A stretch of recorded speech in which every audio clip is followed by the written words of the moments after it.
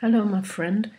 I was really pleased to get some feedback about what I've been saying here, and I'm very glad to talk about the tension that arises between our desire to reach our own full potential and um, being in relationship to somebody else. It's certainly been a quest throughout my own life to balance those two things against each other, but it's never an easy thing to do. It's hard enough to balance out your own life, but to balance out your life in relation to another person at the same time makes it that much harder. But I think it is something well worth doing and a really important thing to um, to live well and to get your life right.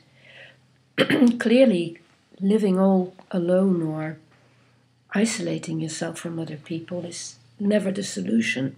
it makes you just completely self absorbed and can make you very egocentric. Having said that, taking the time to clear the decks and to come back to yourself, as I've said elsewhere, is fundamental. You can't love another person and you can't be in relationship unless you are prepared to do that. But that also means that when you are in relationship, if you are in a close relationship, you need to allow each other to do that and not just allow, but encourage each other to do that. So each needs to have solitude and each needs to have time to reflect and come back to themselves and find their own inner sense of passion, their own inner sense of who they are and who they want to be. So, when you can do that and you allow each other the, the freedom and the elasticity to keep yourself going, then you come back to each other in a much better way.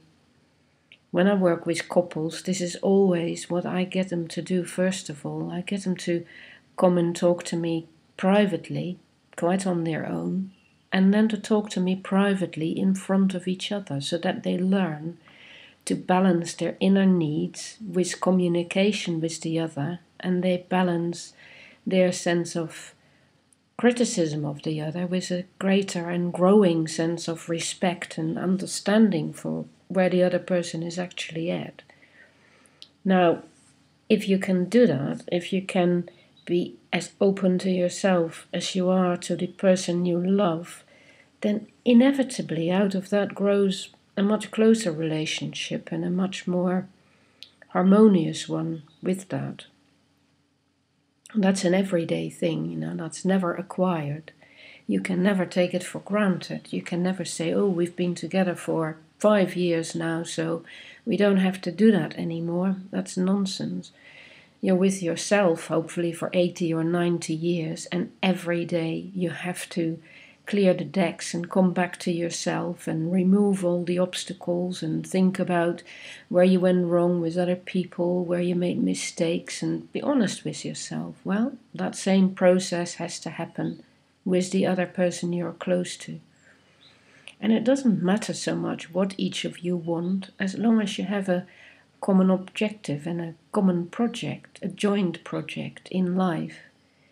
And when you do, you find a way to come together and that, and you find a way to support each other and to mold your lives around that common objective, gradually coming closer with that, and therefore finding it easier to take into account both the realization of your own potential, the realization of the couple's potential and the realization of your partner as well. But it takes time and it takes commitment to listening as much as to speaking your mind. That's the key to it.